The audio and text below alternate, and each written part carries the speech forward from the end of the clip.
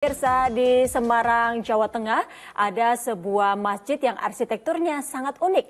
Namanya Masjid Safinatun Najah, tapi lebih sering dikenal sebagai Masjid Kapal Nabi Nuh.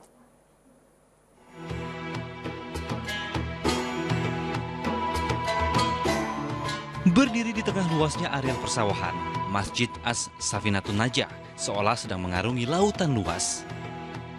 Masjid yang lebih sering disebut Masjid Kapal Nabi Nuh merupakan ikon wisata religi baru di kota Semarang, Jawa Tengah. Sejak dibuka untuk umum pada tahun 2016, masjid ini ramai dikunjungi pengunjung yang kagum karena bentuknya yang unik. Pengen tahu dari dekat seperti apa masjidnya. Setelah akhirnya kita ke sini ya alhamdulillah cukup kagum sama masjidnya, luas. Kemudian uh, dengan gaya arsitek yang bagus. Masjid Kapal Nabi Nuh yang berdiri di atas lahan seluas 7,5 hektar dibangun menyerupai kapal asli. Ada 68 jendela di kiri dan kanan masjid yang dibuat bulat berjajar layaknya jendela kapal. Ada pula 6 pintu masuk ke dalam masjid yang juga dibuat menyerupai pintu kapal.